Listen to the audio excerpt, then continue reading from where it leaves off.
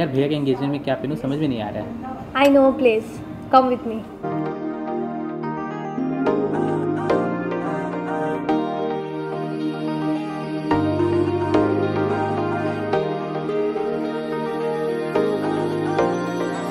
रंग है इश्क के कितने सारे।